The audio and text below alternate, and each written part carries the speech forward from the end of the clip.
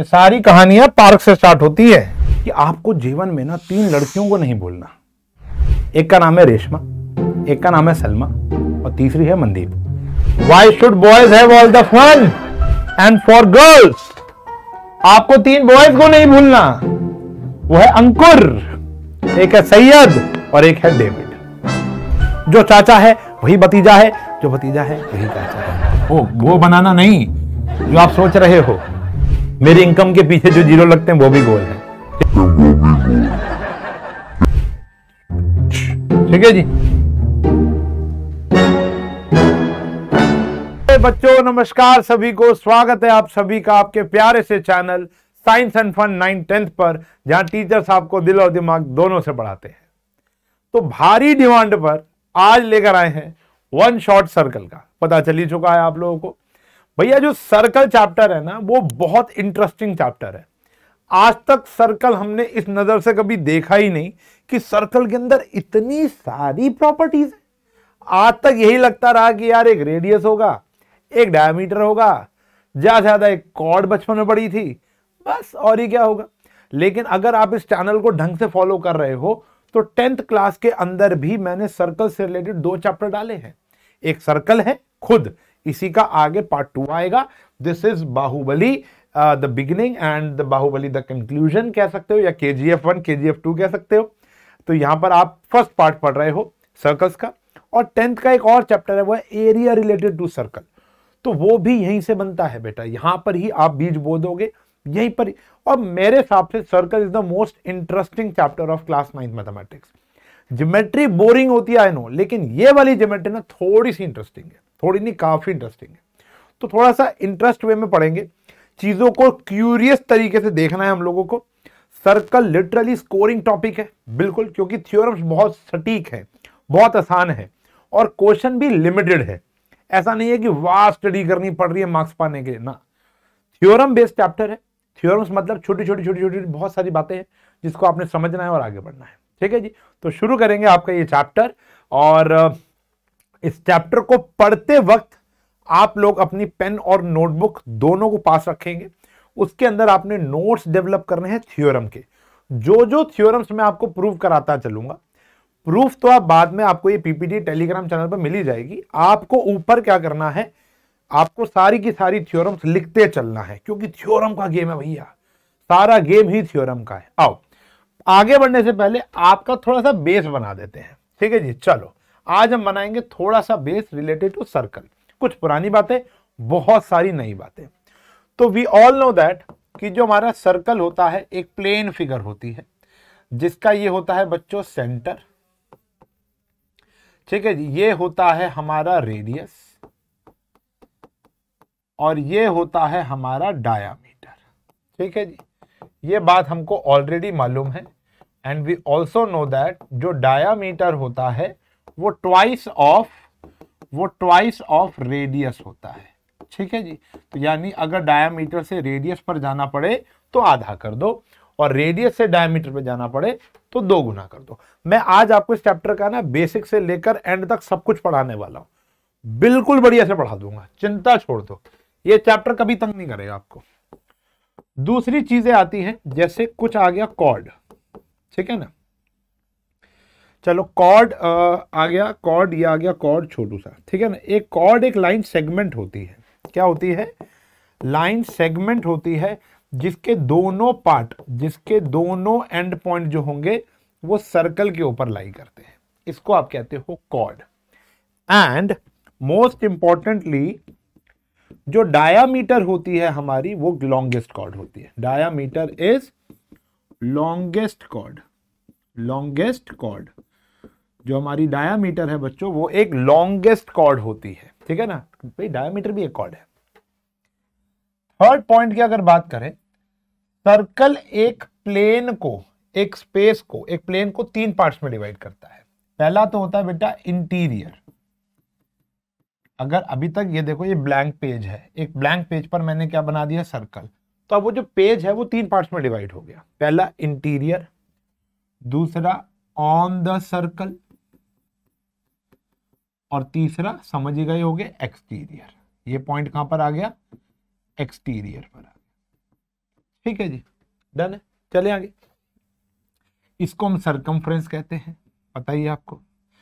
अब कुछ नई चीज़ों के बारे में पढ़ाई करते हैं। जैसे ये हो गया बच्चों सेंटर ये तो थी आपकी कॉर्ड जिसके दोनों एंड पॉइंट सर्कल के ऊपर लाई करेंगे। अगर एक लाइन वो लाइन सेगमेंट थी, ये लाइन है। जो एक सर्कल को दो पार्ट्स में डिवाइड करके जाएगी, उसको बोलते हो आप सीकेंट क्या बोलते हो? सीकेंट इस लाइन को बोलेंगे सीकेंट गॉट इट समझ में आ गया? चले आगे। फिर अगर मैं आपको पढ़ाऊं, एक शब्द होता है, उसको बोलते हैं टेंजेंट आप लोगों ने बड़े बच्चों को सुना होगा tan theta sine theta cos theta तो ये होता है सेक थीटा पढ़ाएँगे आगे। और ये होता है टेन थीटा टेन की फुल फॉर्म ही टेंजेंट होती है सेक की फुल फॉर्म सीकेंट होती है। तो कहीं ना कहीं बेस बनाते चलेंगे आपका कि ताकि टेंथ में आप जाओ तो थोड़ा सुपीरियर हो। टेंजेंट क्या होता है? टेंजेंट एक ऐसी लाइन होती है जो एक सर्कल को बस एक पॉइंट से छू कर जाएगी। अ लाइन विच छू कर जाएगी। एक पॉइंट पर। एट अ पॉइंट और उस पॉइंट को हम पॉइंट ऑफ़ कांटेक्ट कहेंगे। ठीक है ना? इस लाइन का नाम होता है हमारी टेंजेंट क्या होता है बच्चों? टेंजेंट और इस पॉइंट का नाम होता है पॉइंट ऑफ़ कांटेक्ट क्या होता है? पॉइंट ऑफ़ कांटेक्ट ठीक है जी? कुछ एक्स्ट्रा बातें भी आपको मैंने बता दी। ये होती है सीकेंड गॉट इट चलें। इसके बाद अगर मैं बात करूँ, सबसे इंपॉर्टेंट तीन चीज़ों की। अभी मैंने आपको बातों बातों में बताया कि ये जो होता है, ये जो ऑन द सर्कल है, ये है सरकमफ्रेंस आपको पता है। सरकमफ्रेंस ऑफ़ अ सर्कल लेकिन अगर मैं बात करूँ if this is a circle if this is a circle we all know that चलो ग्रीन ले लेते हैं, कि अगर हम आधे की बात करेंगे तो वो सेमी सर्कल होता है। लेकिन आधे से कुछ कम की बात भी करेंगे या कुछ ज़्यादा की बात करेंगे तो इसको बोलते हो आप आर्क क्या बोलते हो बेटा? इसको बोलते हैं हम आर्क ऑफ़ अ सर्कल अब आर्क ना दो होते हैं। एक ये छोटा आर्क है, भाई ये भी तो आर्क है। A part of circumference of circle is known as arc अब ये छोटा है तो इसको आप बोलोगे माइनर क्या बोलोगे? माइनर ये बड़ा है, इसको आप बोलोगे मेजर क्या बोलोगे? मेजर आर्क माइनर आर्क और मेजर आर्क बात समझ में आ गई? ठीक है जी। इसी प्रकार से जो एक कॉर्ड होती है कॉर्ड जो होती है वो सर्कल को दो हिस्सों में डिवाइड कर देती है। जो पहला हिस्सा होता है, जो छोटे वाला होता है, उसको हम माइनर सेगमेंट कहते हैं, छोटू।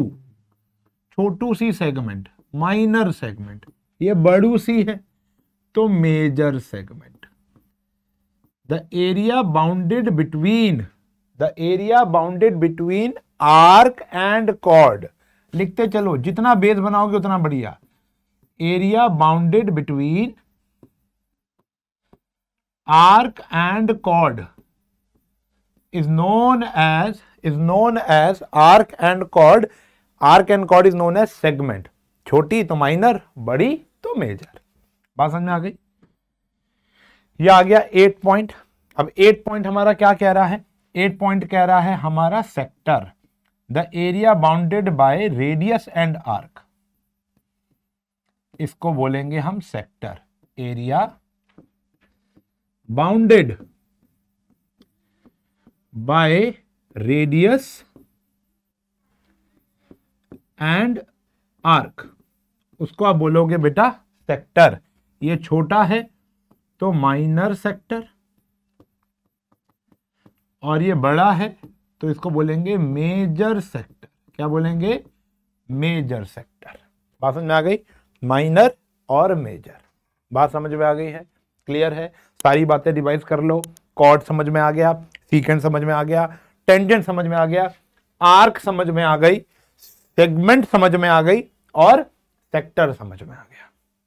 डायमीटर पहले से आता था सरकमफ्रेंस पहले से आती थी, इतनी बात समझ में आ गई।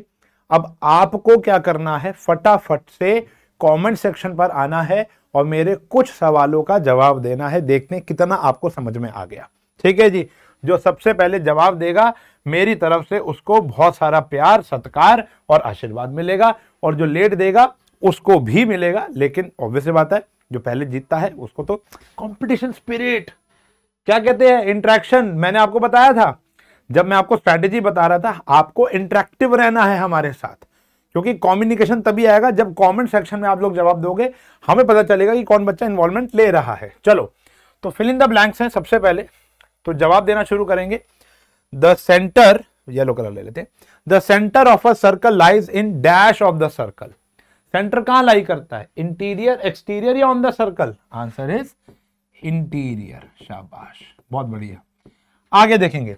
A point whose distance from the centre dash of a circle is greater than the radius lies in the dash of the circle हाँ जी, बताओ। A point whose distance from the center is greater अगर क्या होगा? Is lies in dash of the circle. तो यहाँ पे होगा ग्रेटर तो यहाँ पर एक्सटीरियर भी लिख सकते हो। क्या लिख सकते हो? ग्रेटर भी लिख सकते हो। अगर एक सर्कल के रेडियस से बड़ा पॉइंट ले लेंगे तो कहाँ चला जाएगा बेटा? बाहर चला जाएगा।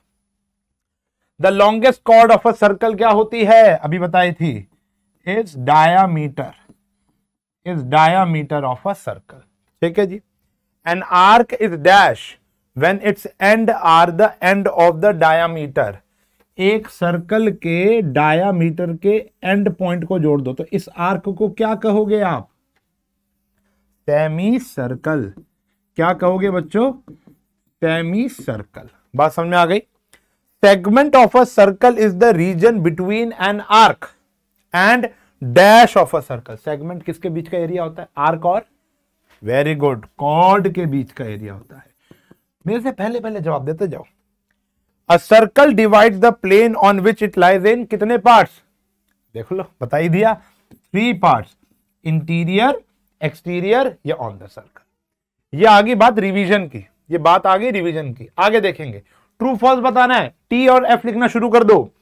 कह रहे हैं line segment joining the centre to any point on the circle is radius centre से सर्कल के ऊपर हर एक पॉइंट के डिस्टेंस को रेडियस कहते हैं। आंसर इज़ ट्रू, बिल्कुल।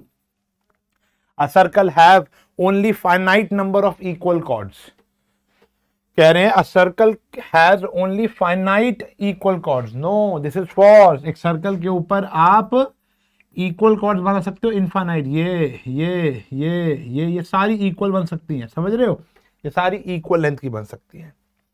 If a circle is divided into three equal arcs each is a major arc एक सर्कल को तीन आर्क में बराबर कर दो। एक, दो और लेट से तीन। तो ये तीनों मेजर हैं या माइनर है? देखो मेजर और माइनर डिपेंड करती है एंगल पर। अगर वो सेमी सर्कल से बड़ी हो जाएगी तो ही वो मेजर है। ये तीनों सेमी सर्कल से छोटी हैं तो वो मेजर नहीं होंगी तो this is false this answer is false ठीक है बेटा? फिर आगे कह रहे हैं a chord of a circle which is twice as long as radius एक ऐसी कॉर्ड जो रेडियस से डबल है उसको आप डायमीटर कहते हो। हाँ बिल्कुल बात सत्य है। Sector is the region between the chord and its corresponding arc chord और आर्क के बीच के एरिया को आप सेक्टर कहते हो। नो no, उसको तो आप सेगमेंट कहते हो। उसको आप सेगमेंट कहते हो। सेक्टर तो होता है area bounded by arc and radius ठीक है जी? A circle is a plane figure yes a circle is plane figure अच्छा ये प्लेन फिगर का मतलब क्या है? अगर मैं आपको बोलूँ कि आपके आसपास सर्कुलर ऑब्जेक्ट देखो तो बहुत सारे सर्कुलर ऑब्जेक्ट मिल जाएँगे। पापा का सिक्का गोल, मम्मी की बिंदी गोल, दादी की दवाई गोल, सब कुछ गोल दिख जाएगा। आपके वॉच गोल, है ना? और मेरे सामने जो कैमरा है ना, वो भी गोल है। ठीक है जी? और मेरी इनकम के पीछे जो ज़ीरो लगते हैं, वो भी गोल है। ठीक है जी? और लेकिन जो मेरी सेविंग है, वो भी गोल है। गोल समझते हो? यानी शून्य, वो भी गोल है। तो कहानी यहाँ पर ये आती है कि हमारे आसपास बहुत सारी चीज़ें गोल है, लेकिन सर्कल नाम की चीज़ हमारे आसपास कोई भी पाई नहीं जाती। आप धरती पर कोई भी ऐसा सर्कल बाहर घूमता हुआ नहीं देखोगे।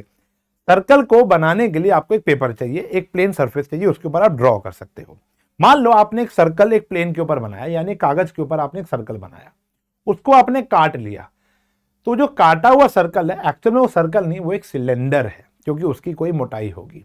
अच्छा यकीन नहीं होता तो ऐसे दस सर्कल काट लो। दस सर्कल को काट के एक के ऊपर, एक के ऊपर एक रख लो। अगर इसकी थिकनेस ना होती तो ये ऊपर ऊपर उठता नहीं उठता ना। तो ये एक सिलेंडर बन जाएगा। बनेगा कि नहीं बनेगा, उसकी मोटाई आपको फिर विजिबल हो जाएगी।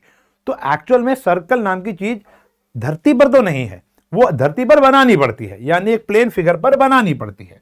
तो it's a plane figure not a three figure ठीक है जी समझ में आ गई? थ्री में स्फेयर आता है हेमिस्फेयर आता है कोन आता है सिलेंडर आता है। सर्कल नहीं आता रेक्टेंगल नहीं आता, ये सारी प्लेन फिगर है, जो कि आपको एक प्लेन पर बनानी पड़ती है। गॉट इट है? तो लाइक इट है। चलो जी, आगे बढ़ेंगे जी। फटाफट से तो ये हमारा हो गया बेसिक काम। आपका बेस बन गया। अब चलते हैं चैप्टर की गंभीर और मज़ेदार थ्योरम्स पे। मतलब क्यूरियस हो मैथ्स को लेकर के, और ऐसा भी हो सकता है। और थ्योरम पढ़ाते हैं आपको। पहली थ्योरम आती है। अच्छा थ्योरम के नंबर भी मिलेंगे आपको। प्रूव करना आता है पेपर में। Equal chord subtend equal angle at the centre अब ये सबटेंड का मतलब क्या है? ये पढ़ाते हैं। सबटेंड का मतलब होता है बनाना। ओ, वो बनाना नहीं, जो आप सोच रहे हो।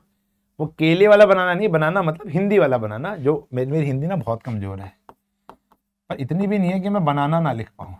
हाँ जब एक कॉर्ड एंगल बनाती है सेंटर पर तो वो बराबर होंगे। देखो, क्या कह रहे हैं? इसको प्रूफ कराते हैं। मान लेते हैं ये दो कॉर्ड्स हैं। मान क्या लेते हैं ये? बट ये मान लेते हैं कि ये दोनों इक्वल है। गिवन है कि जो ए बी है, वो सी डी के बराबर है। ये आया सेंटर ठीक है जी? अब इसको बोलते हैं सबटेंड करना। ये जो एंगल बनाया है ना इन्होंने सेंटर पर, इसको बोलते हैं बनाना, यानी सबटेंड करना। गिवन क्या है? ए बी जो है, वो सी डी के बराबर है। ठीक है जी? टू प्रूफ आपको प्रूफ क्या करना है? प्रूव ये करना है कि एंगल ए ओ बी जो होगा, वो एंगल सी ओ डी के बराबर होगा। ये आपको प्रूफ करना है। आओ जी प्रूफ शुरू हो जाते हैं। प्रूफ करने के लिए लगेगी कॉन्ग्रुवेंसी तो थोड़ा बहुत आगे बढ़ने से पहले कॉन्ग्रुवेंसी रिवाइज कर लो। तो ट्राइंगल चैप्टर भी बहुत जल्दी आएगा, लेकिन बेसिक कॉन्ग्रुवेंसी हमने एट में पढ़ ली थी, वही लगेगी यहाँ पर। ठीक है ना? तो in triangle A O B and triangle C O D इन दोनों ट्राइंगल को कॉन्ग्रुवेंट करेंगे। ए ओ किसके बराबर है बेटा? ए ओ सी ओ के बराबर है। और जो बी ओ है, वो डी ओ के बराबर है। ऐसा क्यों? क्योंकि ये रेडियस है। एक ही सर्कल के सारे रेडियस आपस में बराबर होंगे। तो यहाँ लिख देते हैं radii of same circle radii of same circle और साथ में ए बी जो है, वो सी डी के बराबर है। ये बात आपको पहले ही गिवन थी। तो therefore triangle A O B जो हो जाएगा, वो कॉन्ग्रुएंट हो जाएगा सी ओ डी के by by S S S similarity criteria similar हो गया? सिमिलर होने के बाद तो आप राजा होते हो। एक आपका दोस्त था, उसका नाम था C P C T angle A O B C O D के बराबर आ जाएगा by C P C T अब ये तो मैंने आपको कराया थ्योरम का proof this is the proof of your theorem ठीक है ना? लेकिन इस चीज़ को आपने लर्न कर लेना है एज अ कॉन्सेप्ट पेपर में प्रूफ भी आ सकता है टू मार्क्स का, लेकिन कॉन्सेप्ट तो लगेगा ही लगेगा कि दो कॉर्ड्स होंगी ना, वो सेंट अगर दो कॉर्ड्स की लेंथ इक्वल है, दो कॉर्ड्स की लेंथ इक्वल है तो वो इक्वल एंगल सबटेंड करेंगे। मैं आगे एक शब्द लिख देता हूँ, उसको बोलते हैं and vice a versa vice a versa मतलब अगर एंगल इक्वल हुए तो कॉर्ड्स भी क्या होंगी? बराबर। एंगल इक्वल हुए तो कॉर्ड भी क्या होंगी बराबर। यानी यानी if if equal angles equal angles are subtended are subtended by chord at centre then chords are equal then chords are equal. तो chord भी क्या होंगी बेटा? इक्वल होंगी। बात समझ में आ गई उल्टा भी पॉसिबल है। अब इससे रिलेटेड एक आध क्वेश्चन देखते हैं। हमारी बुक के ही क्वेश्चन है। मैं आपको सारे कीमती क्वेश्चन करा रहा हूँ। हल्का क्वेश्चन कोई नहीं लाया। हल्के तो आप खुद भी कर लोगे, ये कर लिए तो।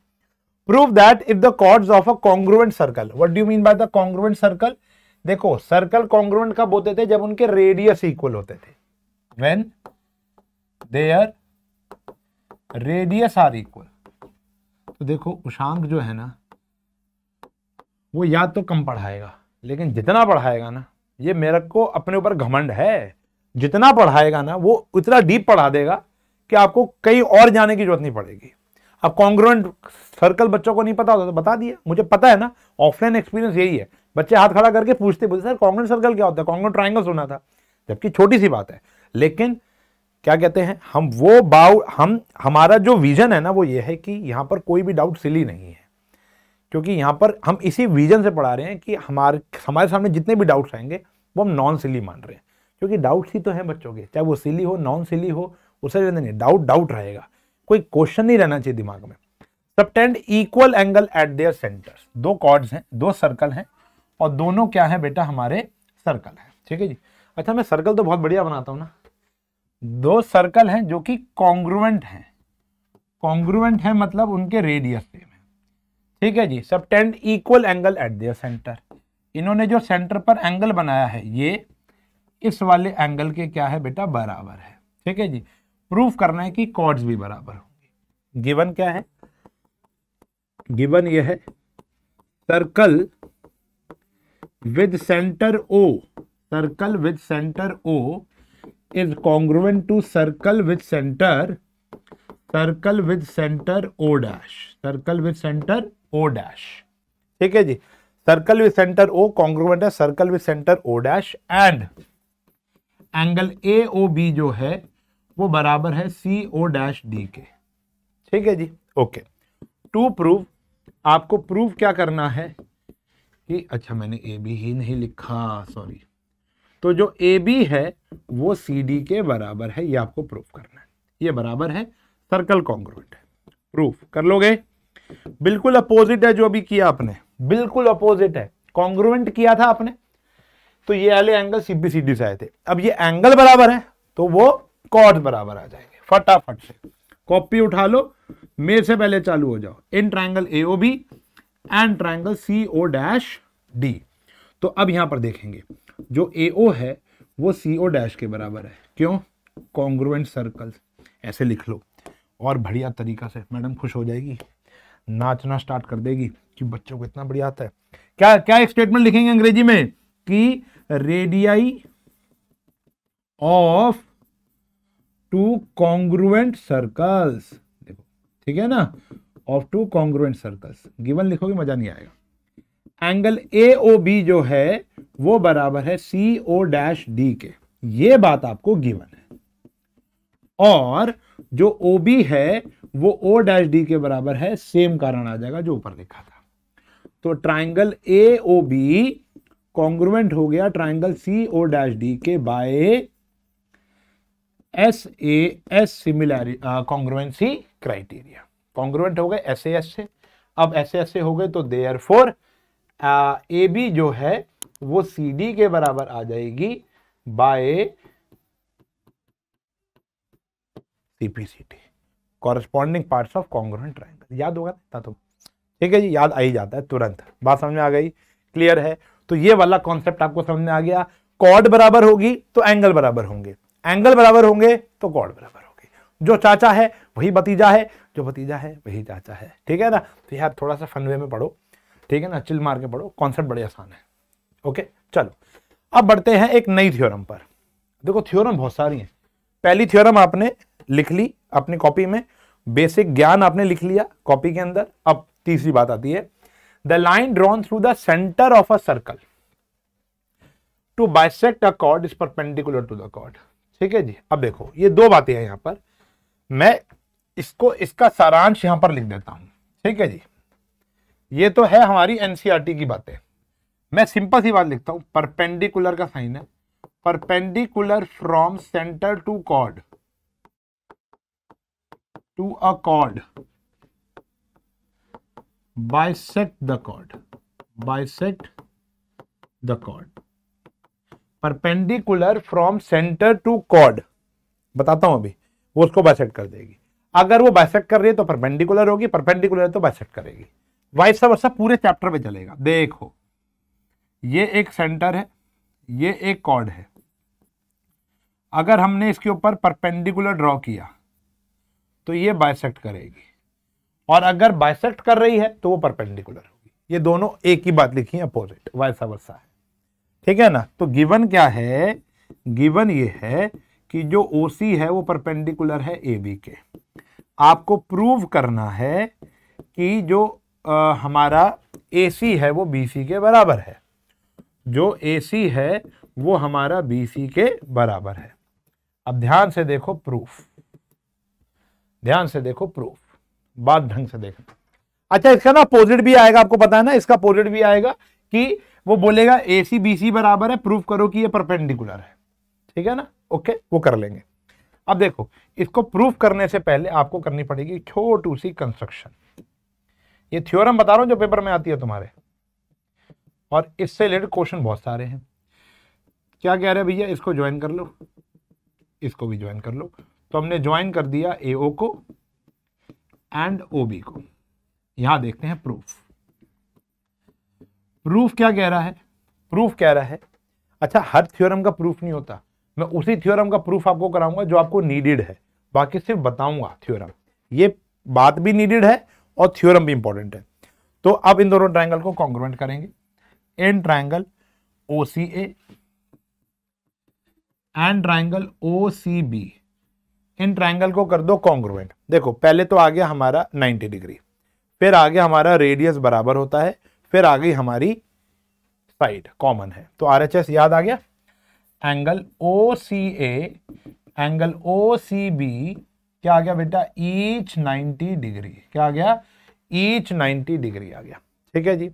अब इसके बाद ओ सी आ गया ओ सी बी आ गया। अब क्या आ गया? जो हमारा ए ओ है, वो बी ओ के बराबर है। सेम वही बात आ गई। Radii of same circle radii of same circle ठीक है ना? क्या आ गया? रेडियाई ऑफ़ सेम सर्कल और जो ये हाइट आ गई हाइट क्या है? ओसी जो है, वो ओसी के बराबर है। वो साइड आ गई हमारी कॉमन तो राइट एंगल है हाइपोटन्यूस है और एक साइड है। तो triangle O C A congruent हो गया ट्राइंगल ओ सी बी के by by R H S अब इससे क्या आया बेटा हमारा? ए सी जो है, वो बी सी के बराबर आ गया by C P C T अब इसका उल्टा भी आपसे पूछा जा सकता है, ये याद रखना। तब क्या होगा? आपको ये पता होगा, ये पता होगा। ठीक है? तब आप इन दोनों ट्राइंगल को कॉन्ग्रुएंट कर लोगे साइड साइड साइड से। साइड साइड और साइड उससे ये वाला एंगल और ये वाला एंगल बराबर आ जाएँगे. अब अगर मान लो एक एंगल वन है और एक एंगल टू है, मैं यहाँ पे बता देता हूँ. अगर एंगल वन है और ये एंगल टू है तो एंगल वन एंगल टू के बराबर आ जाएगा. Angle one plus angle two is equals to one eighty आ जाएगा. Linear pair angle one plus angle one लिख दें उसको, क्योंकि दोनों बराबर थे. तो twice of one one eighty आ गया. तो एंगल वन की वैल्यू आ गई बेटा नब्बे डिग्री. तो एंगल वन वन अगर नब्बे है तो एंगल टू भी कितना होगा बेटा? नब्बे होगा। ठीक है? तो नाइनटी नाइनटी भी प्रूफ कर दिया। इसको कर लेना। दिस इज़ योर होमवर्क इसको उल्टा वाला पोर्शन आप प्लीज़ इसको निपटाएँगे। बात समझ में आ गई है? आगे बढ़े। चलो। इससे रिलेटेड क्वेश्चन है हमारे पास। ये बहुत ही ज़्यादा इंपॉर्टेंट क्वेश्चन है। हमारी 10.3 एक्सरसाइज का। देखो, बातों बातों में हमारी दो एक्सरसाइज खत्म भी हो गई। बातों बातों में दो एक्सरसाइज खत्म भी होगी थर्ड एक्सरसाइज भी खत्म होने वाली है। If two circles intersect at two points दो सर्कल हैं, जो दो पॉइंट्स पर इंटरसेक्ट कर रहे हैं। ये रहा ए और ये रहा बी ठीक है जी prove that there centre lies on the perpendicular bisector of common chord this is the common chord A B is the common chord of both the circle this is O and this is O dash कह रहे जो इसके centre lie करेंगे, वो A B के perpendicular bisector के ऊपर लाई करेंगे। मान लेते हैं ये सी है। आपको प्रूफ करना है ए सी बी सी के बराबर है और ये एंगल आपको प्रूफ करने की ये 90 डिग्री के भी है। ठीक है जी? तो गिवन विवन लिख लेना। टू प्रूव आपको प्रूफ क्या करना है? बस ये देख लो कि ओ ओ डैश जो है इस perpendicular bisector on A B ये प्रूफ करना है। तो इसके लिए भी आपको कुछ ज्वाइनिंग वाइनिंग करनी पड़ेगी। ज्वाइन कर लेंगे हम किसको बेटा? ओ ए को, ओ बी को ओ डैश ए को और ओ डैश बी को। ठीक है जी? Join O A O B O dash A and O dash B को। ठीक है जी? प्रूफ प्रूफ क्या कह रहा है बेटा हमारा? प्रूफ ये कह रहा है कि अब देखो, बहुत गंभीर है, ढंग से समझना। थोड़ा सा कमर ऐसे कान कर लो इंपॉर्टेंट है। क्या कह रहा है भैया? पहले ले लो बड़े ट्राइंगल कारण ही बता दूँगा ऐसा क्यों किया। In triangle O A O dash and O B O dash इन दो ट्राइंगल को कर दो कॉन्ग्रोवेंट कैसे? जो ओ ए है वो ओ बी के बराबर है। रेडियाई ऑफ़ सेम सर्कल और जो ए ओ डैश है वो बी ओ डैश के बराबर है। कारण क्या है बेटा? Radii of same circle radii of same circle. बात समझ में आ गई? ए ओ जो है, वो ओ के बराबर, ए ओ डैश जो है, A O dash B O dash के बराबर है। और तीसरी चीज़ आ गई, ओ ओ डैश, ओ ओ डैश के बराबर है, वो है कॉमन। समझने की कोशिश करेंगे। ये तो इसके बराबर है ये एक ही सर्कल के रेडियस है, ये भी एक ही सर्कल रेडियस है, और ये क्या है, कॉमन आ रही है। तो ऊपर वाला ट्राइंगल और नीचे वाला ट्राइंगल एस एस एस से कॉन्ग्रुएंट हो गया। बट हमने ये किया क्यों? अभी बताता हूँ कि हमने ये क्यों किया। बाय एस एस एस हमने ये इसलिए किया कि ताकि हमको ये वाला एंगल ये वाले एंगल के बराबर मिल जाए। देखो, आपको करनी है एसी और बीसी को बराबर। जब हमको एसी और बीसी को बराबर करना है तो हमें इन ट्रायंगल पर, इन ट्रायंगल को कॉन्ग्रुएंट करना पड़ेगा। और उन ट्रायंगल को कॉन्ग्रुएंट करने के लिए अभी तक मेरे पास सिर्फ़ एक रेडियस था और एक कॉमन साइड थी और कुछ भी नहीं था। तो एक एंगल हमको क्रिएट करना पड़ा, ठीक है ना? तो यहाँ पर आया कि एंगल वन जो है, वो एंगल टू के बराबर है by C P C T बात समझ में आ गई? ओके ये आ गया। एंगल वन एंगल टू के बराबर आ गया by C P C T अब आप छोटे ट्रायंगल कॉन्ग्रेंट कर लो और एंजॉय कर लो जीवन को, ठीक है जी? अब नाउ एन ट्राइंगल कौन सा? A C O C A and triangle O C B इन दो ट्राइंगल को कॉन्ग्रुएंट कर लो। कैसे? एक तो आ गया ओ ए जो है, वो ओ बी के बराबर है radii of same circle angle one जो है, वो एंगल टू के बराबर है प्रूव्ड अबव और जो ओ सी है, वो ओ सी के बराबर है कॉमन है। ठीक है ना? तो therefore triangle O C A congruent हो गया ट्राइंगल ओ सी बी के by by by S A S congruency criteria अब ऐसा हुआ तो इसका मतलब आ गया कि जो ए सी है, वो बी सी के बराबर आ गया by C P C T तो ये बाइसेक्टर तो प्रूव हो गया। परपेंडिकुलर प्रूफ करने के लिए सेम वही काम कर लेंगे। ध्यान से देखो। इस एंगल का नाम ले लो थ्री इस एंगल का नाम ले लो फोर तो एंगल थ्री जो होगा, वो भी तो एंगल फोर के बराबर होगा ना by C P C T and angle three plus angle four का सम कितना आ गया बेटा? वन एटी तो एंगल थ्री फोर की जगह भी थ्री वन एटी, वन क्यों आया? लीनियर पेयर एक लाइन के ऊपर दो सेम एंगल अगर एक लाइन के ऊपर दो एंगल बनते हैं, दोनों का सम कितना होता है? 180 तो ये आता है बेटा twice of angle three is equal to one आया। एंगल थ्री की वैल्यू कितनी आ गई बेटा हमारी? 90 डिग्री आ गई। और वो एंगल फोर भी होगा। तो देर फोर ये बात हमारी प्रूव हो गई कि ये परपेंडिकुलर भी है और ये बाइसेक्टर भी है। ठीक है जी?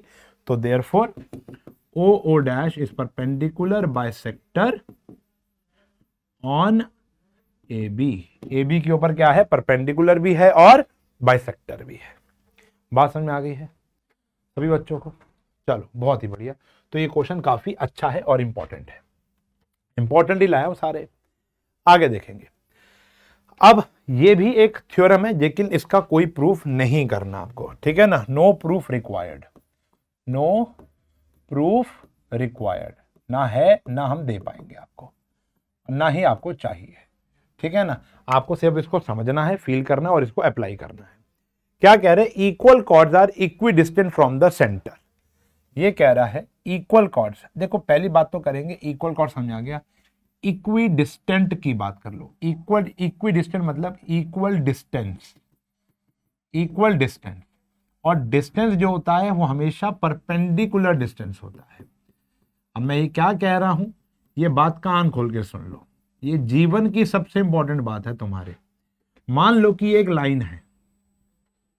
तुम्हारे सामने की दीवार है और ये तुम हो। ठीक है? ये तुम हो। ठीक है जी? तुम्हें इस दीवार को छूना है। कैसे छूओगे? दीवार को छूने के कितने तरीके हैं? बहुत सारे एक ये भी एक तरीका है। एक ये भी एक तरीका है, एक ये भी एक तरीका है, एक ये भी तरीका है, एक ये भी तरीका है, एक ये भी तरीका है, एक ये भी तरीका है। तो जो ये परपेंडिकुलर वाला तरीका होगा ना, जो बिल्कुल सीधा तरीका होगा, जो बिल्कुल परपेंडिकुलर होगा, वो सबसे छोटा होगा और वही डिस्टेंस होता है।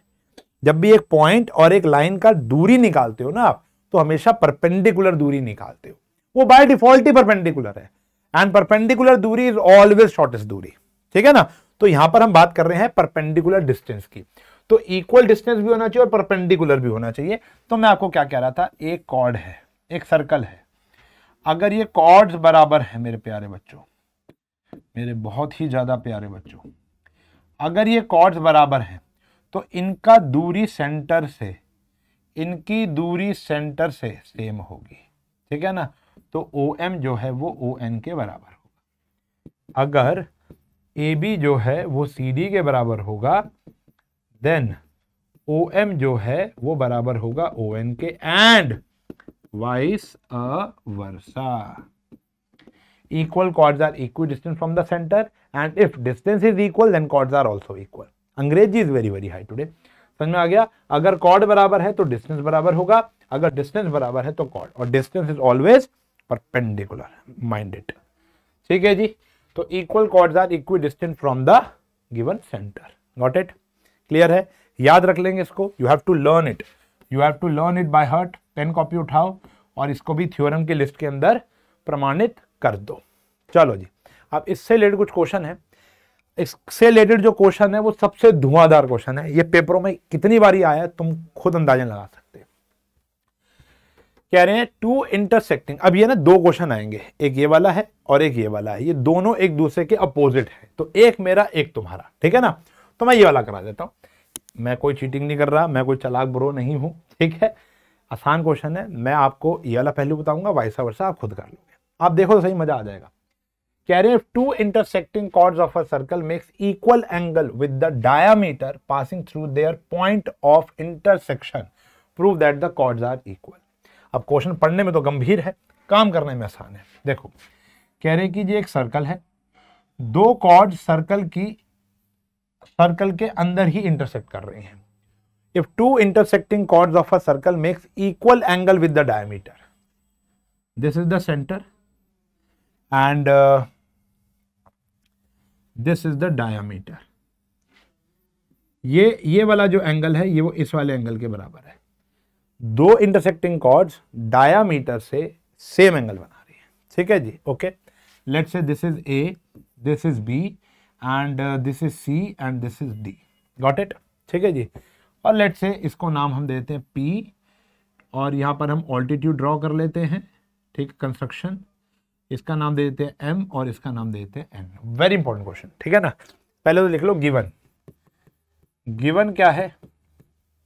आ, जो हमारा एंगल वन है, वो एंगल टू के बराबर है। पहली बात, ठीक है ना? दूसरी बात टू प्रूफ आपको प्रूव करना है कि कॉर्ड्स बराबर है। कॉर्ड्स यानी आपको प्रूव करना है कि जो ए बी है, वो सी डी के बराबर है। उसके लिए आपको एक कंस्ट्रक्शन करनी पड़ेगी। आपको ड्रॉ करना पड़ेगा। आपको ड्रॉ करना पड़ेगा ओ एम ओ एम को perpendicular on A B and O N को परपेंडिकुलर ऑन सी डी ठीक है जी? आपने क्या किया? ओ एम को ए बी पे बनाया। ओ एन को सी डी पर बनाया परपेंडिकुलर गॉट इट प्रूफ देखो। आओ जी प्रूफ बहुत ही सिंपल है। ध्यान से देखेंगे, पता चली क्या होगा? अगर ये परपेंडिकुलर बनाया है तो एक तो हो गया ये 90 डिग्री, एक हो गया ये एंगल और ये एक हो गई कॉमन साइड तो एंगल एंगल साइड नाम की थ्योरम पढ़ी थी हमने, ठीक है ना? तो in triangle O M P and triangle O N P O N P ठीक है जी? अब ध्यान देखो। जो angle O M P is equals to O N P क्या हो गया बेटा? ईच 90 डिग्री ठीक है ना? Angle one is equals to angle two ये बात आपको ऑलरेडी गिवन है। और जो पीओ है, वो पीओ के बराबर है क्योंकि कॉमन है। बात समझ में आ गई? तो therefore triangle O M P जो है, वो कॉन्ग्रुएंट हो गया ओ एन पी के by by by angle angle side by angle angle side तो उससे क्या आया? उससे क्या आया कि जो हमारा ओ एम है, वो ओ एन के बराबर आ गया by C P C T but हमें ये तो प्रूव करना ही नहीं. हमें तो ओ एम को ओ एन के बराबर थोड़ा ना करना था. हमको करना था ए बी को सी डी के बराबर. हमको क्या करना है, मेरे प्यारे बच्चों? ए बी को सी डी के बराबर प्रूफ करना है. तो हो तो गए. अगर ओ एम ओ एन बराबर है if equal chords are equidistant from the centre equal chords are equal distance from the centre हो गया, खत्म, यही कहा नहीं है। यानी अगर डिस्टेंस बराबर होगा तो कॉर्ड बराबर होगी कॉर्ड बराबर होगा तो दूरी बराबर होगी। ठीक है ना? तो विच इंप्लाइज दैट कि जो ए बी है, वो सी डी के बराबर है। क्या लिखेंगे? Equal chords are equidistant from centre equal chords are equidistant from the centre बात समझ में आ गई? आया ना, चले आगे चलो। तो ये हो गया प्रूफ अब आपने क्या किया? इन दोनों ट्रायंगल को कॉन्ग्रेंट किया, जिससे ओ एम ओ एन के बराबर आ गया। तो ए बी भी किसके बराबर आ चुकी है बेटा? सी डी के। अगला क्वेश्चन जस्ट अपोजिट है। If equal chords of a circle intersect within the circle now chords are equal you have to prove कि वो एंगल बराबर होगा। अब ध्यान सुन लो, उल्टा। आपको खुद करना है, लेकिन हिंट तुम्हारा भाई दे रहा है। सेम फिगर बनेगी। अगर कॉर्ड बराबर है तो ओ एम जो होगा वो ओ एन के बराबर होगा। ठीक है जी? ओके ओके एक 90 डिग्री हो चुका है और एक आ गया कॉमन। तो 90 कॉमन हाइपोटन्यूस हो गया और एक साइड हो गई। आर एच एस क्या हो जाएगा? Congruent angle one angle two के बराबर आ जाएगा बाय सीपीसीटी ठीक है जी? तो विद नो डाउट हम इसको होमवर्क में कर पाएँगे। ठीक है जी? और जिस, जिससे होमवर्क में ये हो जाएगा, तुरंत वीडियो के बाद या वीडियो रोक कर आगे बढ़ना, पहले इसको कर लो, फिर बढ़ना। फिर आपने क्या करना है, मुझे बताना है कमेंट सेक्शन में कि सर हमसे हो गया या नहीं हुआ। ठीक है जी? ओके चलो जी, बहुत बढ़िया। आगे बढ़ रहे अगला काम क्या कह रहा है? If a line intersect two concentric circles इसी टॉपिक के ऊपर एक और क्वेश्चन आया। कह रहे if a line intersect two concentric अब कंसेंट्रिक सर्कल्स क्या होते हैं? ऐसे सर्कल जो, देखो, अब देखो सर्कल से कितना सारा गेम पैदा हो रखा है। ऐसे सर्कल्स जिसका रेडियस सेम हो सेंटर सेम हो रेडियस अलग अलग हो। ऐसे सर्कल जिसका सेम सेंटर हो same centre but different radius हो बट डिफरेंट रेडियस हो, उसको आप क्या कहते हो? कॉन्सेंट्रिक सर्कल ये एक सर्कल आ गया, एक ये सर्कल आ गया। ठीक है जी? ओके कह रहे हैं if a line intersect two concentric circles दो इंटरसेक्ट ऐसे हो गई ठीक है जी। विद द सेम सेंटर ठीक है ना? एट पॉइंट ओ ये सेंटर ओ दे रखा है ए बी सी डी पर। ये आ गया ए ये आ गया बी ये आ गया सी ये आ गया डी प्रूफ करना है ए बी जो है वो सी डी के बराबर है। ठीक है ना? टू प्रूफ आपको क्या प्रूफ करना है कि जो ए बी है वो सी डी के क्या है? बराबर है। इसको प्रूफ करने के लिए आपको क्या करना पड़ेगा? कुछ कंस्ट्रक्ट करना पड़ेगा। कंस्ट्रक्ट मामूली सी चीज़। देखो, हर एक लाइन के ऊपर एक ऑल्टीट्यूड तो होता है ना। आपको एक ओ एम बनाना है परपेंडिकुलर ओ एम ड्रॉ करना है परपेंडिकुलर टू ए डी अब ए डी पे बनाओ बी सी पे बनाओ, बात तो एक ही है। अब कर लो प्रूफ ठीक है जी? अब बहुत ही सिंपल है। देखो। जो ए सी होगा सॉरी जो ए एम होगा जो ए एम होगा, क्या वो डी एम के बराबर नहीं होगा? ठीक है जी। और विस्तार में अगर आपको पढ़ाऊं, जो कि मेरा धर्म है आपको पढ़ाना, वो ये कहते हैं कि जो ओ एम है, वो परपेंडिकुलर है ए डी के। तो देयर फोर जो ए एम होगा, वो डी एम के बराबर होगा।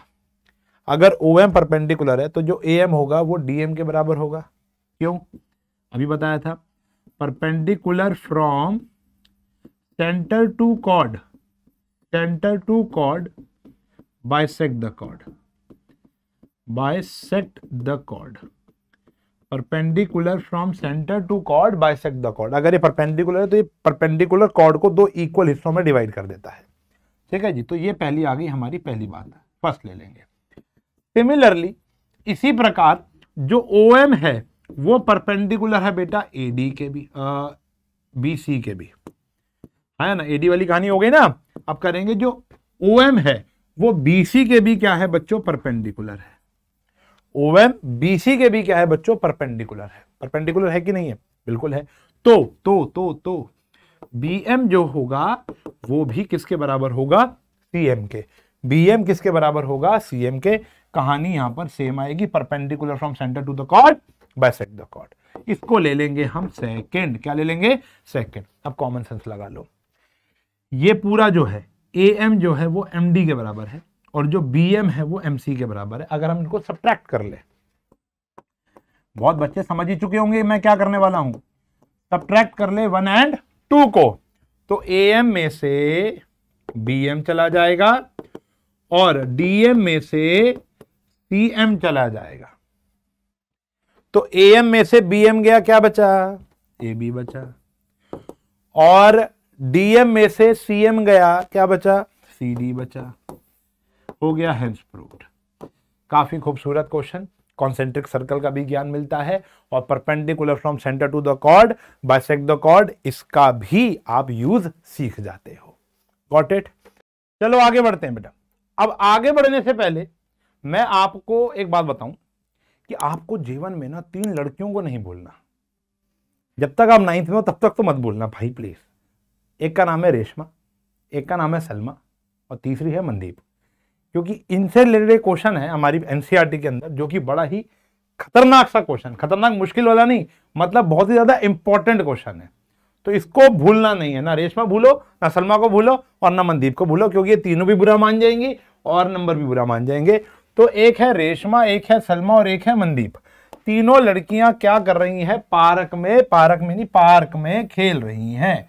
एक पार्क है, क्या लिखा are playing a game by standing on a circle of radius five metre drawn in a park एक पार्क के अंदर एक सर्कल है सर्कल के ऊपर ये खड़े होकर ऑन द सर्कल ये गेम खेल रहे हैं। गेम क्या है? कैचम कैच कैचम कैच खेलिए ना तो बॉल फेंकते हैं। जब Reshma throw the ball to Salma Salma to Mandeep Mandeep to Reshma ठीक है जी। If the distance between Reshma and Salma and between Salma and Mandeep is छ मीटर तो देखो देखो देखो। अभी क्या है? ये है रेशमा, ये है सलमा और ये है मनदीप रेशमा और सलमा के बीच में डिस्टेंस छह मीटर है। ये भी कितना बेटा? छह मीटर है। आपको इनके बीच में निकालना है। और जो रेडियस दिया हुआ है, जो रेडियस है, वो पाँच मीटर है। समझे? अब इस क्वेश्चन को अगर आपने समझ लिया तो लिख तो आप खुद ही लोगे। तो समझ लो। समझना क्या है? मान लो ये सेंटर है। इसको भी ज्वाइन कर लिया, इसको भी कर लिया। तो ये पाँच है, ये पाँच है। एक कंस्ट्रक्शन कर ली एन बना लिया ठीक है ना? तो इसके अंदर एक कंस्ट्रक्शन होती है छोटी सी कि आपने ड्रॉ कर लिया। आपने क्या कर लिया प्यारे बच्चों? ड्रॉ कर लिया। O N perpendicular to R S O N perpendicular to R S draw कर लिया। अब बड़े ही ध्यान से देखना, बहुत ही ज़्यादा ध्यान से। तो अगर ये बेटा परपेंडिकुलर है तो ये दो पार्ट्स में डिवाइड कर देगा। ठीक है जी? सिंस ओ एन जो है, वो आर एस के परपेंडिकुलर है। ठीक है ना? तो तो देर फोर जो आर एन है और जो एन एस है, वो तीन तीन मीटर के आ जाएँगे बेटा। जब ये पूरा ही छह मीटर है तो ये तीन और तीन मीटर के आ जाएँगे। ठीक है जी? अब हम बात करते हैं in triangle O N R से कर लो या ओ एन एस से कर लो। आपकी इच्छा है। तो in triangle O N R ठीक है वेयर आर इज़ रेशमा, ठीक है ना? तो अब देखो ओ एन आर की बात करेंगे तो जो ओ आर का स्क्वायर है, वो ओ एन का स्क्वायर प्लस एन आर के स्क्वायर के बराबर होगा पाइथागोरस थ्योरम हाँ या ना? पता है ना? हाइपोटनिस का स्क्वायर बाकी दोनों साइड के स्क्वायर के सम के बराबर। तो ये आया बेटा हमारा ट्वेंटी फाइव ओ एन कितना है? ओ एन कितना है? पता नहीं, लेकिन एन आर कितना है? अभी निकाला था तीन तो ये आ गया नौ।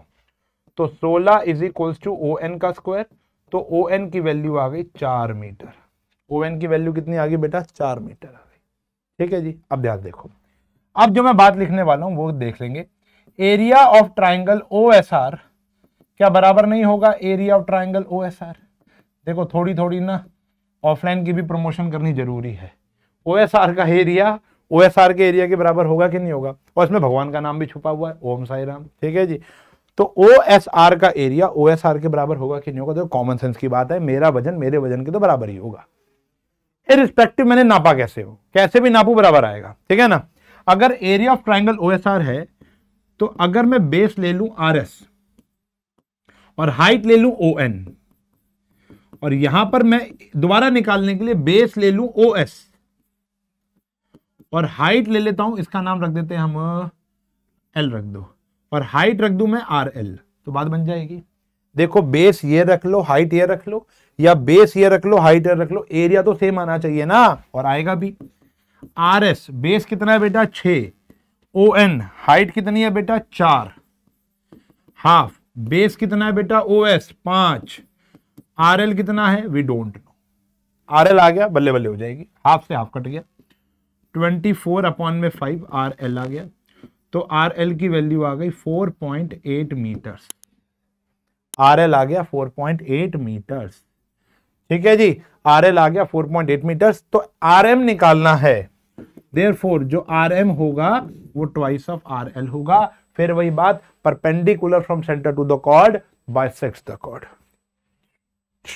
ठीक है जी? तो आर एम जो होगा, वो ट्वाइस ऑफ़ आर एम हो जाएगा। ये आया था हमारा 4.8 तो आर एम हो जाएगा हमारा 9.6 मीटर बात पते की थी, गांठ बाँध कर रख लो। इंपॉर्टेंट क्वेश्चन है, तीनों को नहीं बोलना ठीक है जी? एंड फॉर गर्ल्स आपको तीन बॉयज़ को नहीं भूलना। वो है अंकुर, एक है सैयद और एक है डेविड। लड़कों को रेशमा, सलमा, मनदीप नहीं भूलनी और लड़कियों को अंकुर, सैयद और डेविड नहीं भूलना। ठीक है जी? आ जाओ जी। सर भाई, लड़कियाँ कहे पीछे रहे why should boys have all the fun है ना? अरे यार, बच्चे लोगो तुम। चलो, कोई बात नहीं। आजकल सब चल रहा है। तो कह रहे a circular park of radius 20 metre is situated in a colony ये सारी कहानियाँ पार्क से स्टार्ट होती है भैया। अब आप देख रहे हो? अरे यार, ये रब कहे नहीं हो रहा। ये सारी कहानियाँ पार्क से स्टार्ट होती है। मैं फिर पार्क बोल रहा हूँ। मैं बिस्कुट बोलता हूँ बिस्किट की जगह। तो मेरी हिंदी और इंग्लिश दोनों ही कमज़ोर है। मैथ मेरी स्ट्रांग है। क्या बात कह दी मैंने। A circular park of radius 20 metre is situated in a colony तीन बॉयज़ हैं, अंकुर है, सैयद है और डेविड है। Are sitting at equal distance on its boundary each having a toy telephone in his hand to talk to each other वो बचपन में तुमने बनाया क्या? वो एक गिलास के अंदर नीचे छेद करके, ऊन लगा के, दूर तक दूसरे गिलास में भी करके, यहाँ से दूर से बोलो ना, आवाज़ जाती है। रेंज अच्छी होती है उसकी तो वो पार्क में भी ऐसे करके बैठे हुए हैं। ठीक है जी, अब देखो। ये रहा ये रहा। ये रहा अंकुर, ये रहा सैयद और ये रहा डेविड। ये बैठा अंकुर, सैयद और डेविड। ये रहा सेंटर जिस सेंटर का रेडियस पार्क का रेडियस है ट्वेंटी तो ये भी कितना आ गया बेटा ट्वेंटी इसको ले लो आर इसको क्या ले लो? आर आपको क्या निकालना है? Length of the string of each phone यानी आप ए एस एस डी और ए डी इक्वल ट्राइंगल है। देखो ये ट्राइंगल क्या है? इक्विलेटरल सेंस अंकुर का सैयद से, सैयद का डेविड से और डेविड का अंकुर से, जो डिस्टेंस है वो बराबर है तो therefore triangle A S D is an equilateral triangle ठीक है जी? तो देयर फोर जो ओ आर होगा, वो ट्वेंटी का हाफ़ हो जाएगा. अब सर ये कौन सी नई बला ले आए आप हमारे लिए? ये ट्वेंटी है तो ये टेन हो जाएगा। आधा कैसे हो गया मैं आपको बताता हूँ। ऐसी थ्योरम जीवन में नहीं पढ़ी होगी, आज पढ़ा रहा हूँ। और ये हमारी बुक में भी नहीं है। ये बचपन में शायद कहीं सुनी हो या आगे जाके कहीं सुनोगे। वो है कि जो एक ऑल्टीट्यूड होता है इक्वल ट्राइंगल का, उसको सेंटर टू रेशो वन में डिवाइड करता है। ठीक है जी, क्या? Centre divide centre divide altitude altitude altitude यानी height of equilateral triangle in two ratio one इस चीज़ को याद रखेंगे। तो अगर ये 20 है तो ये कितना हो जाएगा? 10 अगर ये 50 है तो ये 25 हो जाएगा। ये आर है तो ये आर बाय टू हो जाएगा। ये याद रखना। ठीक है ना? बस। अब in triangle O S R फिर से आ गया तुम्हारा O S R in triangle O S R जो ओ एस का स्क्वायर होगा, वो ओ आर का स्क्वायर और एस आर के स्क्वायर के बराबर होगा। ओ एस का स्क्वायर हो गया 400 ओ आर का स्क्वायर हो गया 100 एस आर का स्क्वायर आ जाएगा। 300 is equals to S R का स्क्वायर एस आर की वैल्यू आ गई 10 रूट तीन मीटर क्या आ गई? एस आर की वैल्यू आ गई 10 रूट तीन मीटर तो देयर फोर एस डी का मतलब क्या आ जाएगा? 20 रूट तीन मीटर यही आपको निकालनी थी length of each string Ankur से सैयद सैयद से डेविड और डेविड से अंकुर तक की जो वायर का डिस्टेंस है लेंथ है, वो कितनी है? Twenty root three metre. और अगर आप चाहो तो रूट थ्री की वैल्यू भी डाल सकते हो। 1.732 मीटर्स, ये भी आप डाल सकते हो। बात समझ आ गई? है क्लियर डन है आगे बढ़े। चलो। ये दोनों क्वेश्चन लाजवाब थे। अब इनकी भी माता श्री पिताश्री को मैं लेकर आता हूँ। मतलब इनके इनके नहीं अंकुर से डेविड के नहीं, इन क्वेश्चंस के। एक थ्योरम है जो कि हंड्रेड परसेंट पेपर में आएगी। 99.999 परसेंट, क्योंकि आपके टीचर पे डिपेंड करता है ना यार ये। ठीक है ना? मैं होता तो ज़रूर देता और मेरे स्कूलों में हर बारी आती थी और ऑफलाइन स्टूडेंट्स को पढ़ाता हूँ तो मोस्टली बच्चों की आती है। ठीक है ना? क्या कह रही है? The angle subtended by an arc at the centre is double the angle subtended by it at any point on the remaining part of the circle इसको शॉर्ट फॉर्म होती है डिग्री मेजर थ्योरम या angle measure theorem degree measure theorem भी कहते हैं इसको। ठीक है जी। कई टीचर थियो थ्योरम कई टीचर ये डिग्री मेजर थ्योरम लिखने के लिए मना करते हैं तो आई एडवाइस कि आप पूरा ही लिखे पेपर में, जहाँ पर भी इस्तेमाल होगी ना तो ये आपको स्टेटमेंट याद करनी पड़ेगी। ठीक है ना? तो आ गई degree measure theorem degree measure theorem क्या है? मैं आपको बताता हूँ। कहते हैं कि एक सर्कल है। कि एक सर्कल है। ये आ गया। ऐसे ऐसे ऐसे। या ऐसे ले लो। एक आर्क, क्या कह रहा है? The angle subtended by an arc at centre the angle subtended by an arc at centre is double of the angle subtended by it on the remaining part of the circle if this is X then this is X by 2 degree. ये सौ तो ऊपर वाला 50 इस arc ने, कौन सी arc ने? समझना। इस आर्क ने सेंटर पर जो एंगल बनाया वो अगर x है तो उसी आर्क ने बाकी बचे हुए remaining part of the circle पर कहीं पर भी एंगल बनाया। मान लो ये भी बनाया, मान लो ये बनाया, मान लो ये बनाया, मान लो ये बनाया, मान लो ये बनाया, ये सारे x बाई टू के होंगे। ये सारे x बाई टू के होंगे। मैं थोड़ा सा आपको और सटीक तरीके से बता देता हूँ। ठीक है ना? अच्छे से इरेज करके चीज़ों को दोबारा से बताता हूँ। ठीक है ना? मतलब कहने का तात्पर्य मेरा गलत नहीं था वो वही था कि एक सेंटर ये एक आर्क आ गया। इस सेंटर पर इस आर्क ने जो एंगल बनाया लेट से सौ डिग्री का बनाया। तो अब यही आर्क पूरे remaining part of the circle पर कहीं भी एंगल बना लेगी वो पचास का होगा। ठीक है ना? कहीं पर भी बना लो यहाँ पर बना लो। तो ये रहा और ये रहा। ओहो क्या बना दिया मैंने? आ, ये रहा। ठीक है जी? ये रहा। ये कितने का होगा बेटा? पचास डिग्री का होगा। इधर होगा इधर होगा, ये भी कितना होगा बेटा? पचास डिग्री का होगा। ये होगा ये होगा, ये भी कितना होगा? पचास डिग्री का अभी तो ये माइनर आर्क ने बनाया। ऐसे सेमी भी बना सकती है और मेजर भी बना सकती है। बात में आ गई। Angle subtended by an arc अच्छा इसका प्रूफ भी है। इसका प्रूफ भी है। जो मैं आपको एक टेन मिनट कॉन्सेप्ट की वीडियो में ला कर दूँगा। ठीक है जी? इसका प्रूफ भी आएगा। और टेन मिनट कॉन्सेप्ट की वीडियो में उसके रिलेटेड हम क्वेश्चन भी कर सकते हैं। ठीक है? बात समझ में आ गई? तो क्या है? ध्यान समझना। दोबारा समझ लो। अगर ये सेमी सर्कल पर होता सेमी सर्कल के अंदर सारे एंगल 90 डिग्री के होते हैं, ये भी बात जान लो। ये एक सेमी सर्कल है, ये ए ओ बी आ गया और ये सी आ गया। तो ये एंगल 90 डिग्री का होता है, इसको बोलते हैं एंगल इन सेमी सर्कल क्या होता है? एंगल इन सेमी सर्कल ठीक है? एंगल इन सेमी सर्कल एक सेमी सर्कल पे कितने भी एंगल बना लो, वो कितने के होंगे बेटा? 90 डिग्री ठीक है जी, वो 90 क्यों है? क्योंकि यहाँ पर 180 है। देखो थ्योरम तो यही लग रही है, एक आर्क ने सेंटर पर जो एंगल बनाया remaining part of the circle पे उसके आधे बनेंगे। अब यही बात आप अप्लाई कर सकते हो मेजर सेक्टर पर भी। ठीक है जी, अब ध्यान से समझना। ये आ गया मेजर इसने एंगल बनाया, यहाँ पर मान लेते हैं 240 डिग्री का। कितना बनाया? 240 अब ये वाला इधर बनाएगा अगर एंगल तो ये कितने का हो जाएगा बेटा? 120 डिग्री का। क्या बनाएगा? 120 डिग्री। इसको हम रिवर्स भी करके दिखा सकते हैं। और अच्छे समझ में आता है बच्चों को। आओ देखो। समझ लो। प्रूफ मैं करा दूँगा, चिंता मत करो। ठीक है जी? अब ये आया।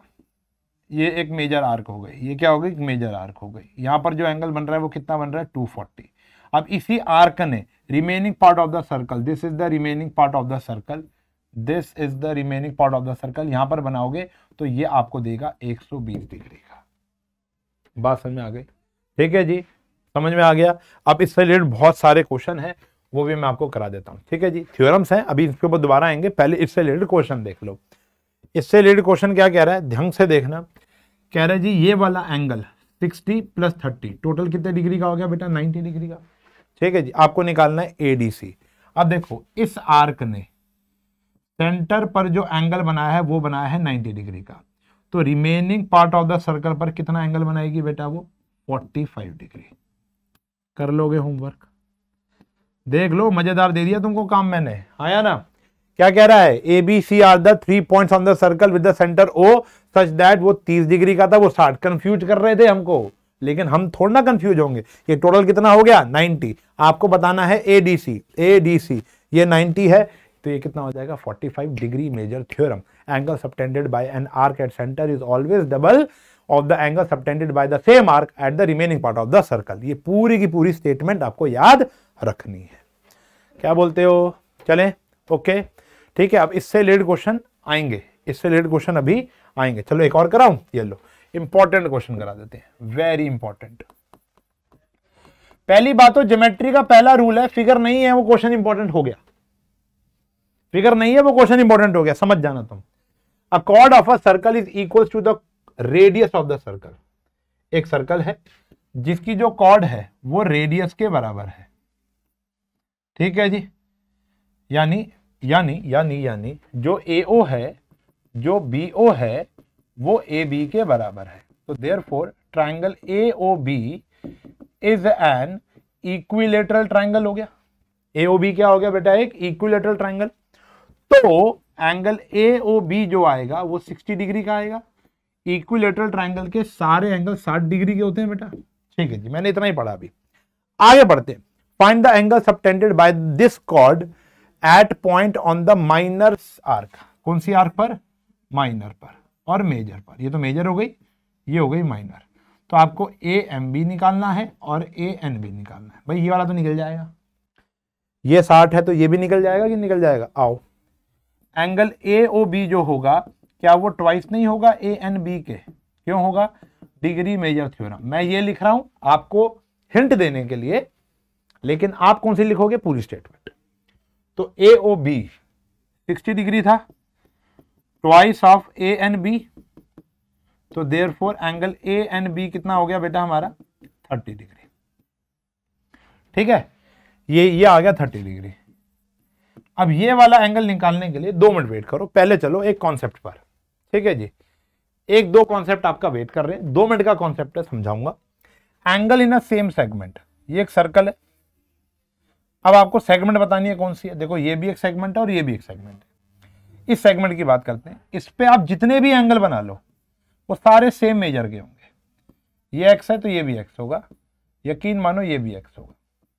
और ऐसा नहीं है, वो सिर्फ़ बात मेजर के लिए वो है लागू।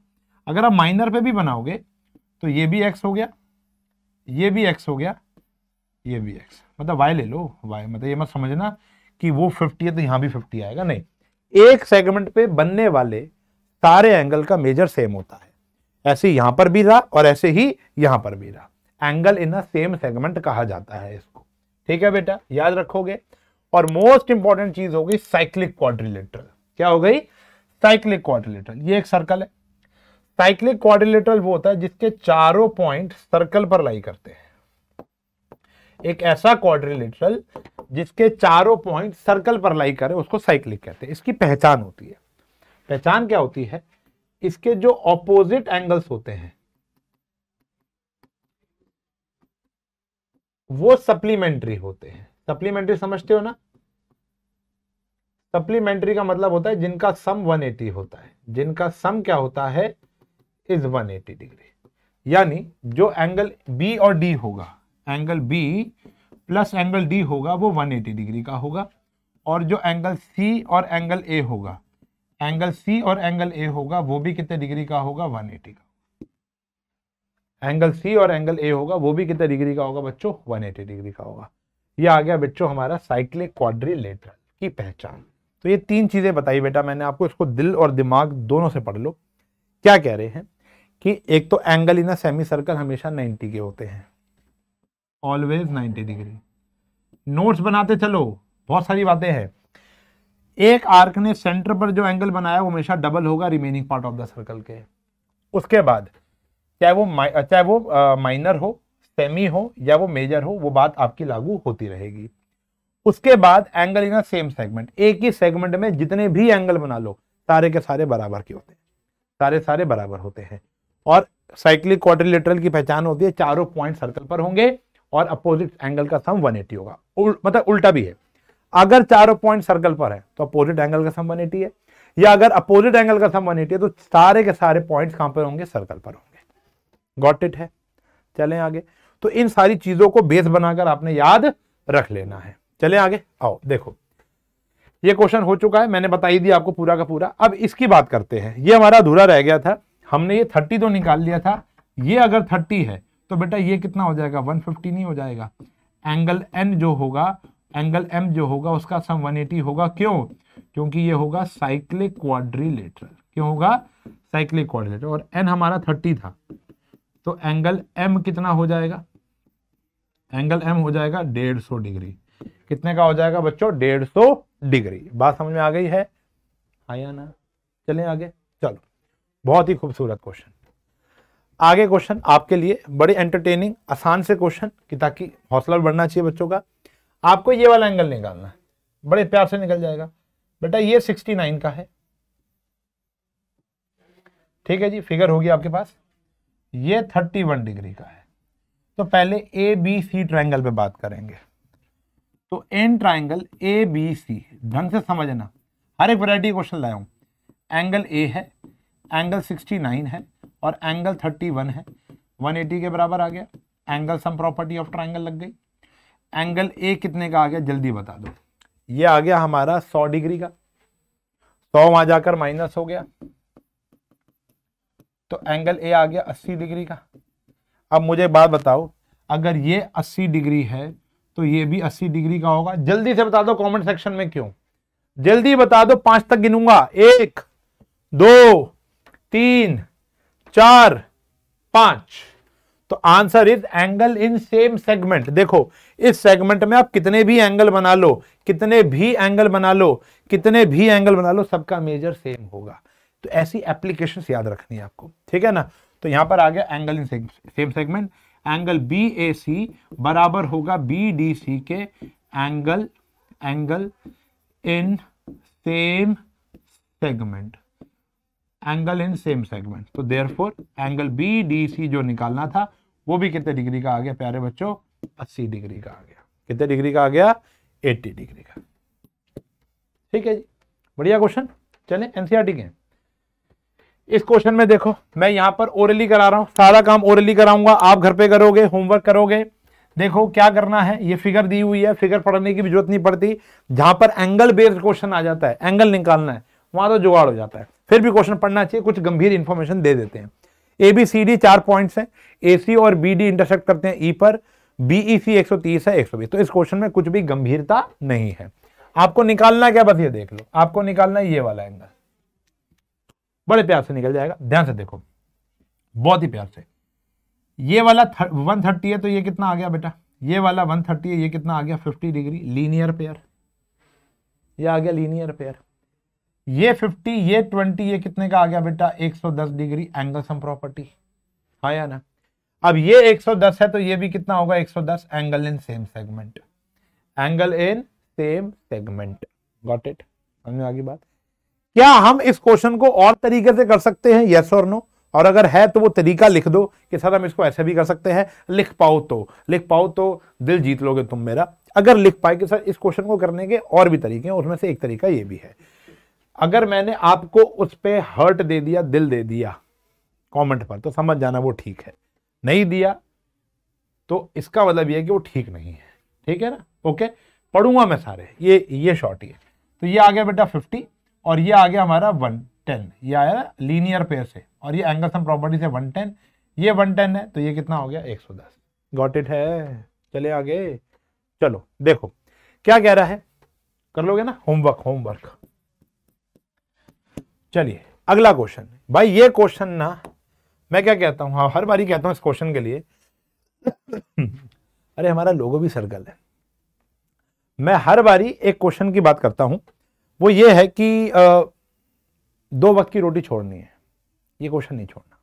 इतना इंपॉर्टेंट है। दो वक्त की रोटी छोड़ देना ये मत छोड़ना क्या अरे एक साइक्लिक है cyclic